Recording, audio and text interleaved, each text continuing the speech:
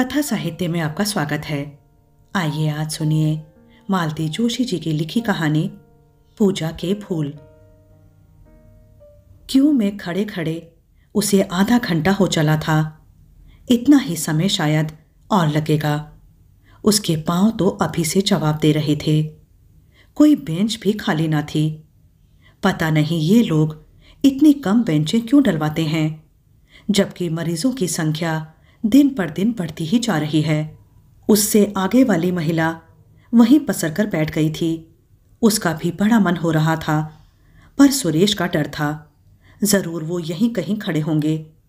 उसने तो कह दिया था, तुम खाना खाकर दफ्तर चले जाना। पर वे गए ही होंगे, यह ज़रूरी नहीं था। अपने निर्णय पर अब उसे पश्चाताप होने लगा था। सुरेश ने तो पहले ही कहा था कि अस्पताल में वे ही लोग जा सकते हैं, जिनके पास समय हो अथवा जिनकी पहुँच हो। पर वो खुद ही अड़ गई थी। बेकार बंगले पर जाकर पंद्रह बीस रुपए दक्षिणा फूकने में क्या तुक है? पंद्रह दिन पहले ही तो उसे अस्पताल से छुट्टी मिली है।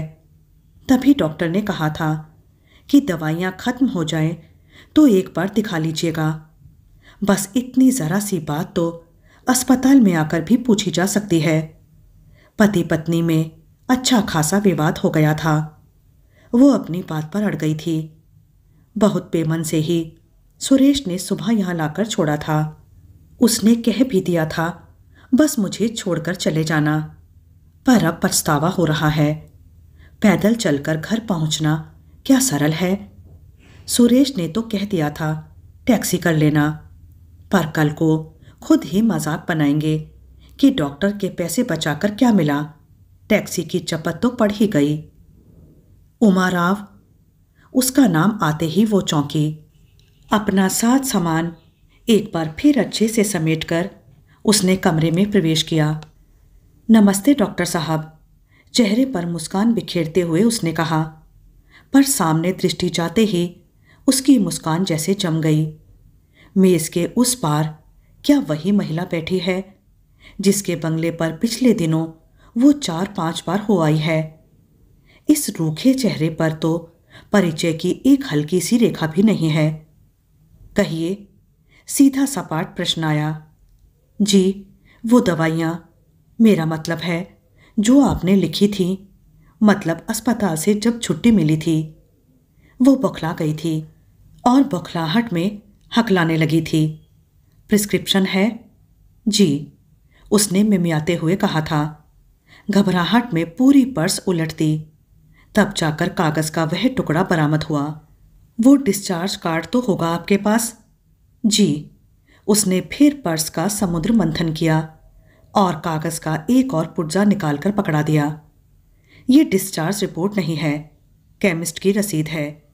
इस बार उस आवाज़ में हेड मिस्ट्रेस का सा रुतबा और तलखी थी। वो फिर पर्स टटोलने लगी थी। यह जानते हुए भी कि डिस्चार्ज कार्ड वो लाई ही नहीं है। उस कागज़ को उसने इतनी अहमियत भी नहीं दी थी। सुरेश की सारी हिदायतें केमिस्ट की रसीदों के लिए होती है। मेडिकल बिल जो बनाना होता है। जल्दी कीजिए, बाहर और भी मरीज़ हैं। जी वो डिस्चार्ज वाला कागज़ तो भूल आई हूँ घर पर। बस आप गोलियों के बारे में बता देती। ऐसे कैसे बता दूँ? दिन में पचास मरीज़ देखती हूँ। सबके ब्यौरे याद थोड़े ही रहते हैं। कागज़ तो सामने होना ही चाहिए ना। तो चलूँ, उसने असहाय भाव से कहा। डॉक्टर किसी महत्वपूर्ण फ़ाइल में डूब गई थी। उन्होंने उमा की बात जैसे सुनी ही नहीं। हताश होकर वो बाहर चली आई। पाँव मन मन भर के हो रहे थे। सुबह पाँच बजे से उठकर दौड़ भाग की थी। तब कहीं घर का काम समेट पाई थी। खाना बनाकर रखाई थी। सो अच्छा ही हुआ। नहीं तो बच्चों को और उनके पापा को भूखे ही जाना पड़ता।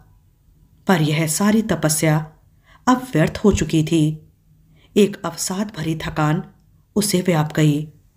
वो सचमुच थककर चूर हो गई थी। फिर भी मना रही थी कि वे दफ्तर निकल गए हों। नहीं तो छूटते ही पूछेंगे। लेकिन वे गेट पर ही मिल गए। चलें? उन्होंने पूछा। वो चुपचाप साथ हो ली। रास्ते भर कोई कुछ नहीं बोला। खड़खड़िया साइकिल ही सड़क से पत्याती रही। सुनो, घर पहुँचते ही सुरेश ने कहा, मैंने बीच में आकर खाना खा लिया था। अब ऑफ़िस जा रहा हूँ। कुछ दवाइयाँ वगैरह लानी हो तो बता दो। लौटते हुए लेता आऊँगा। उत्तर में वो एकदम फपक कर रो दी अपमान का वह अंश फिर एक बार नए सिरे से उसे आहत कर गया। क्या हुआ? सुरेश ने घबराकर पूछा। उसकी रुलाई के आवेग से वे सचमुच डर गए थे। कहीं कैंसर वगैरह तो नहीं बता दिया। आजकल तो ये जैसे एक आम नाम हो गया है। जैसे कभी मलेरिया या टाइफाइड हुआ करता था। डॉक्टरों का तो कुछ खर्च होता नहीं है। बस जरा सी जबान भर हिलानी होती है। पर सुनने वालों का तो दम ही निकल जाता है। ठीक से बताओ भाई, क्या हुआ? उन्होंने जरा बेजारी से पूछा। तब कहीं वो अपने अपमान की गाथा रुक रुक कर सुना पाई। सुनकर हंस दिए सुरेश। सरकारी अस्पतालों में तो यही सब होता है। तुम क्या समझी थी? कोई तुम्हारे लिए स्वागत गीत गाएगा या पलक पावड़े बिछाएगा? अपना सारा छोप घुटक कर चुप हो गई वो। अब इस व्यक्ति को कोई कैसे समझाए कि इतने परिचित चेहरे पर अपरिचय की अभिव्यक्ति कितना कष्ट देती है? चार पाँच दिन यूँ ही निकल गए। इस बीच वो बेहद थकी थकी सी बनी रही।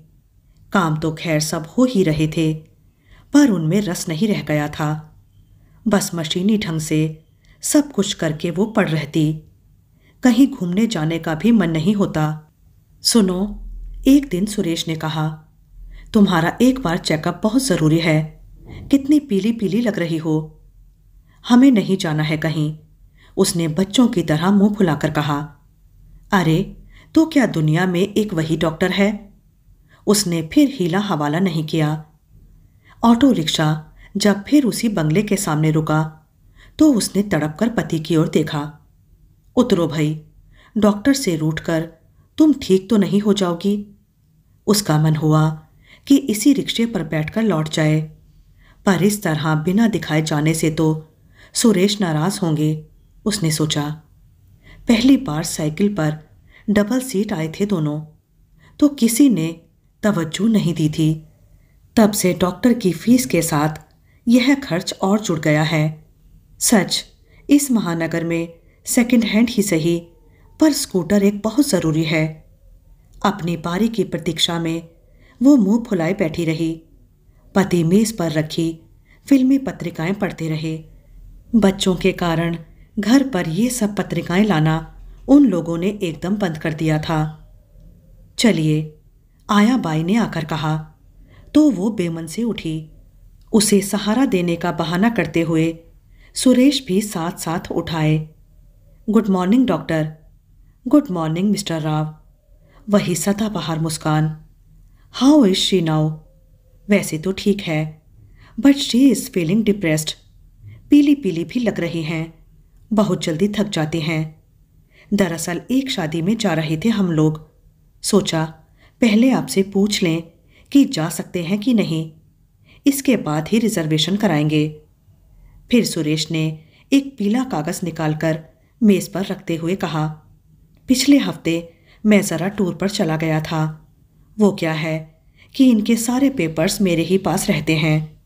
वही तो उस दिन ये हॉस्पिटल आई थी तो अकेली थी ना? सुरेश ने उनकी बात काटते हुए कहा, बंगले पर इतनी दूर आने की हिम्मत नहीं पड़ी। हॉस्पिटल के लिए तो ऐसा है कि साथ मिल जाता है। मंद मंद मुस्कुराते हुए डॉक्टर ने सारे केस पेपर्स फिर से देखे।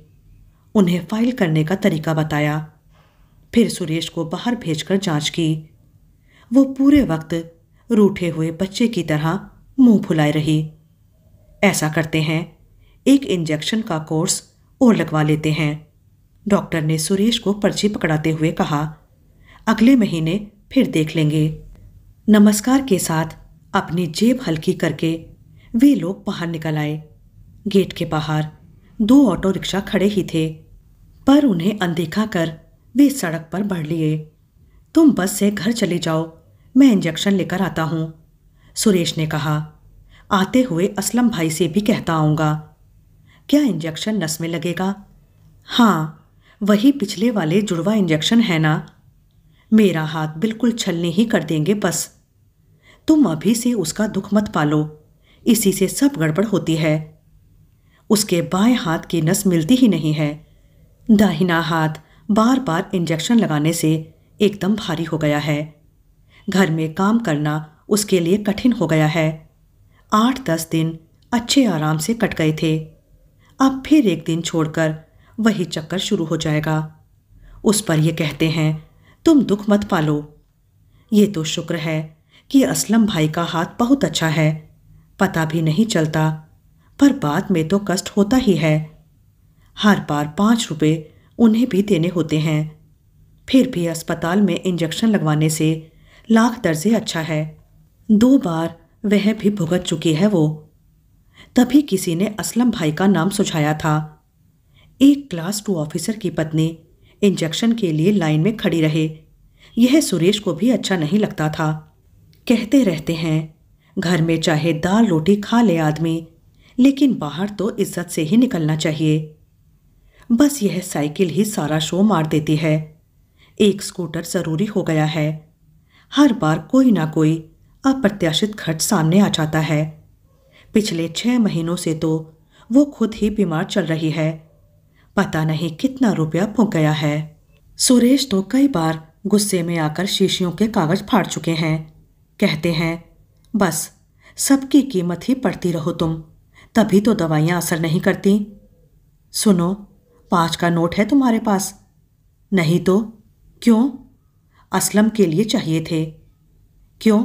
पैसे नहीं हैं क्या? पैसे हैं बाबा, बहुत हैं, सुरेश ने खींच कर कहा। खुले खुले देना ज़रा अच्छा नहीं लगता। उससे क्या फ़र्क पड़ता है? पाँच देना है, कैसे भी दे दो। और सुनो, इंजेक्शन मैं इस हाथ पर नहीं लूँगी। सुन तो लिया बाबा, अब कितनी बार कहोगी? फिर भी उमा को संतोष नहीं हुआ। असलम भाई के आते ही उसने ऐलान कर दिया कि नस वाला इंजेक्शन वो बाएँ हाथ पर ही लगवाएगी। जैसी आपकी मर्ज़ी। वे मुस्कुराकर बोले, उस पर ही लगा देते हैं। लेकिन जितनी सहजता से वे कह गए, यह काम उतना ही कठिन साबित हुआ। सामान्य इंजेक्शन तो कब लग गया, पता ही नहीं चला। पर नस ढूंढते समय उनके छक्के छूट गए। और असलम भाई। स्पिरिट का फाहा और सिरिंज लेकर नस तलाश रहे थे। दोनों पसीना पसीना हो गए, पर उसे ना मिलना था, ना मिली। चार पाँच जगह खून ज़रूर निकल आया। अब अब कुछ नहीं। वो झटके से उठ बैठी और अपनी बाह को देखती रही। वेरी सॉरी असलम ने कहा, मुझे अफसोस है। कोई बात नहीं, सुरेश ने कहा, और तश्तरी में एक एक के पाँच नोट रखकर सामने कर दिए। असलम ने उनमें से दो नोट उठा लिए। सलाम किया और उठ खड़े हुए। अरे, यह क्या? जी, बस एक इंजेक्शन लगाया है। एक ही के पैसे लूँगा। अरे, ऐसा क्यों सोचते हैं आप? आपने कोशिश तो पूरी पूरी की है। उससे क्या फ़र्क पड़ता है, सर? भाभी जी को इतनी तकलीफ़ भी तो दी, बल्कि मैं तो बहुत शर्मिंदा हूँ। अच्छा जी, चलूँ। परसों हाजिर होऊँगा। उन्होंने फिर एक बार सलाम किया और अपना छोटा सा बैग उठाकर चले गए। सुरेश बड़ी देर तक तश्तरी में रखे नोटों को देखते रहे। फिर धीरे से बोले, उमा, तुम्हारी रामायण कहाँ है? तिपाई पर रखी है। क्यों? मैं ये नोट उसमें रख दूँगा। क्यों? उमा, मैं कागज़ के इन टुकड़ों में बसी इंसानियत की महक को सहेजना चाहता हूँ। और सचमुच उन्होंने वे रुपए उठाकर माथे से यूँ लगा लिए जैसे पूजा के फूल हों। अभी आप मालती जोशी जी की लिखी बहुत ही प्यारी कहानी पूजा के फूल सुन रहे थे। इसी प्रकार की साहित्यिक कहानियाँ सुनने के लिए कथा साहित्य से जुड़े रहिएगा। धन्यवाद।